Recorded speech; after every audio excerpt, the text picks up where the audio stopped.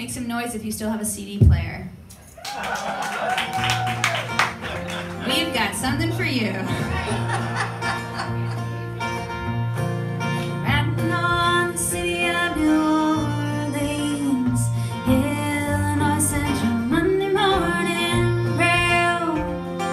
Fifteen cars and fifteen restless riders.